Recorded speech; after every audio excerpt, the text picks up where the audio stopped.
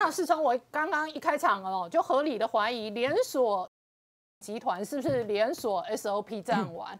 然后呢，连锁集团现在切割说这是一家加盟店了。好啦。就算这是你某一家黑心加盟店，对我怎么知道其他家黑心加盟店不是这样玩？嗯，我怎么知道你总公司不是这样玩？对，我怎么知道你不是两岸所有的分店都这样玩？对，我觉得这个当然要全面的这个清查。我们来讲一下这个王姓的这个负责人。事实上，王姓负责人来说，他曾经带领他们公司呢，曾经在两千零二年有曾经成功在纳斯达克挂牌过。那后来当然因为股价不好，然后后来又下来了。那后来呢，他其实在两岸之间有非常多的这个往来，包括说他因为他涉及住所谓的幼教，然后有生活服务，还有零售，所以他带领非常多台商过去。那他自己本人有成立两个这个类似的这种营运基金会，这种一个叫两岸经营者俱乐部，还有另外一个叫中华两岸连锁经营协会。那也就是因为这样，他就是在两岸之间呢，他有一定的分量嘛，所以在包括说很多两岸的场合里面来说，他都曾经出现，甚至是要从从这个艾克法啦，或者说像这个国民党跟这个中国的往来里面来说，他其实都会参加在这里面。好，他是同派媒体采访过很多次的资深台商。对。然后福茂的时候问他，他就挺福茂。对。然后马习会问他就挺马习会。然后洪秀柱啊去见习近平，洪习会他就说好棒棒，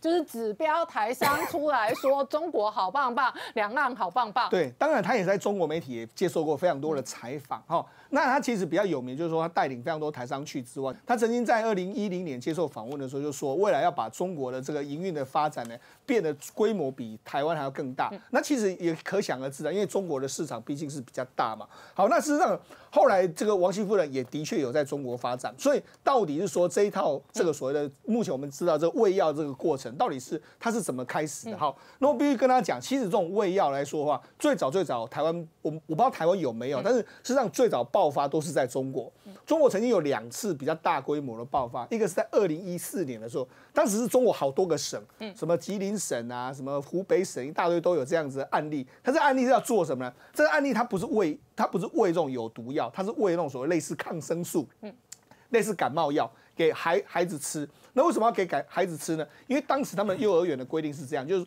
他们依照你孩子来几天，那就可以领多少钱。那他可能怕说，哎，你感冒就不来，所以他就常常喂他。对，这就真的这样喂啊。然后后来就真的爆发，后来是因为后来就有人就觉得奇怪，就是小孩子怎么常常都因为吃久会有副作用，就是很多副作用出现之后，就什么皮肤会痒啊怎样的副作用。后来是老这个所谓很多人踢爆这件事，那这个踢爆是我觉得跟台湾很像哦。踢爆这件事一开始的时候。有人去跟政府反映，政府没有处理。后来是为什么会处理？就是因为微博已经烧开，很多老老师家很多家长受不了了。后来政府才处理，他们中国大陆政府才处理。后来政府中国大陆处理之后，就全面整顿，说你不能够喂这种药。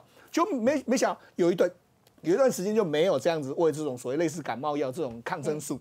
就没想到二零一七年又爆发一次，二零一七年它爆发叫红蓝黄红黄蓝针的事件，嗯，也就是说有类似打这种我们刚刚类似这一次那种事件，嗯。对，就很类似这样做，后来又被整顿一次，嗯所以那那为什么要这样做呢？其实我觉得现在为止来说，我觉得我们知道说，其实这个幼儿园里面的管理里面来讲的话，其实老师应该算是比较大的一个费用了哈。